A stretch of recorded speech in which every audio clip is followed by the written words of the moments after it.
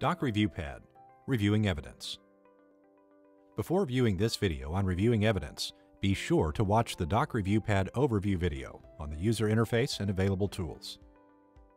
As you go through your documents in Doc Review Pad, you will want to assign tags and issue codes to them to organize and sort your evidence. While viewing a document, press the Tag Issue button above the preview window and a popover will appear listing the built-in confidential and privileged tags, and any issue codes you may have already created. To create a new issue code, press the plus button at the bottom of the popover. Type in a name, select a color, and press Done. Once the issue code is created, you can assign it to the entire document or the current page. Press the Document or Page buttons beside the tag or issue code to assign it to the entire document or the current page. The Document button will be a solid green when the issue code is assigned to the entire document. The Page button will be a solid green when the issue code is assigned to the current page.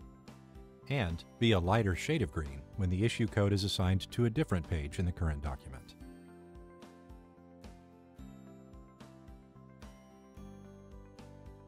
As you continue reviewing your documents, you can tap the Tag Issue button to assign existing issue codes or add new ones.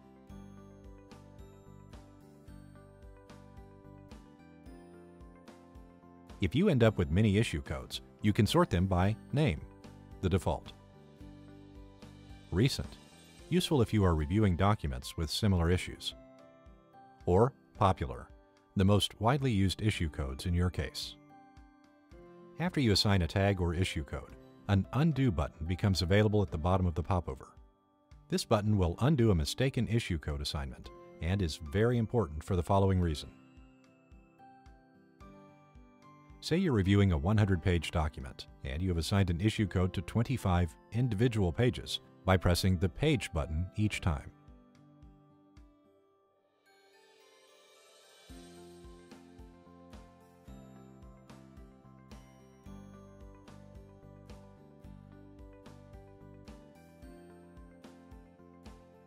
If you then accidentally press the Document button, Doc Review Pad will assign that issue code to the entire document.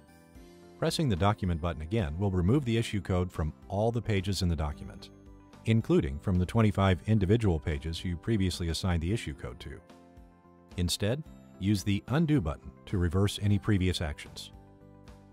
Another way to review your documents is to use Speed Review. As the name suggests, it is a faster and more fluid way to review your documents. Tapping on the Speed Review tab underneath the document list will display the Speed Review section on the left side where you can assign tags or issue codes very quickly. As you view each page or document in the preview window, you can assign tags and issue codes to the entire document or current page by simply tapping on the corresponding button beside the tag or issue code name. While you can use the previous and next document buttons and the previous and next page buttons and their respective sliders, Swipe gestures within the preview window will allow even greater speed and flexibility. Swipe left and right to cycle through pages in the current document.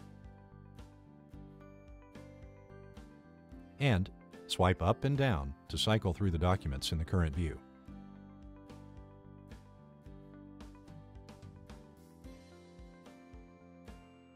Press the Documents tab to go back to the main documents list.